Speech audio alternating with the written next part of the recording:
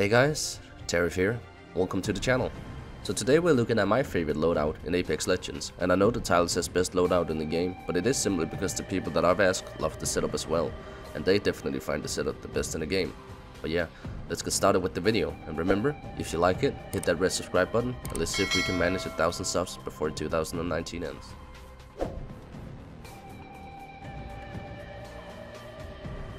Do you ever find yourself in a situation where you're too close to somebody to be able to use a long range? And do you ever find yourself in a situation where you're too far away to use a shotty? Well, with this simple as fuck loadout, you will never have that problem anymore.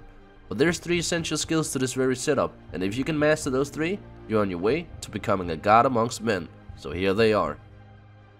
Step 1. Get a proper aim. Everybody loves a teammate who knows how to shoot and kill. Step 2.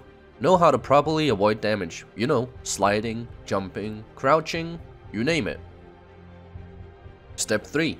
Prioritize your enemies. With that said, don't go for thirst when there is an enemy standing close. And a bonus tip.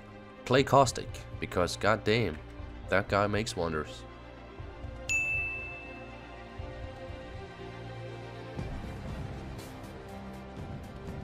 Time for some beautiful pros and cons. I'm gonna lay them out nicely for you here so you can follow them nicely. First I'm gonna point out the cons because it's always better to get the good news last.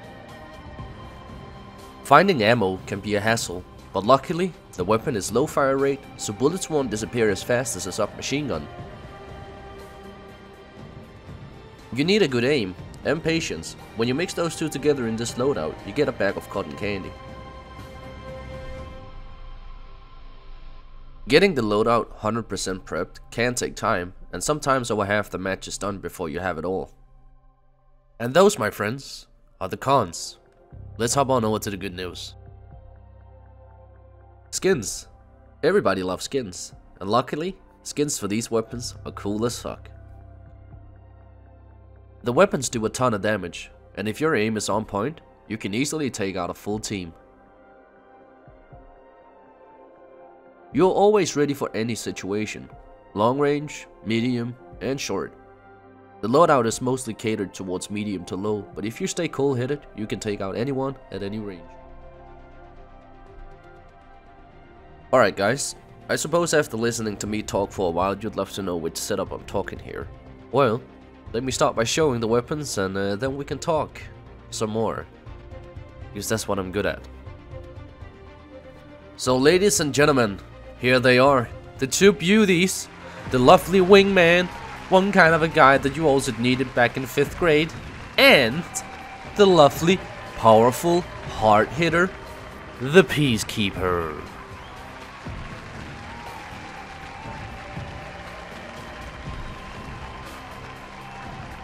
The reason for me to nominate these two weapons as the best combo in the game, if you have the aim, is because it has so much potential and once you get comfortable with the game, you also get comfortable with the guns.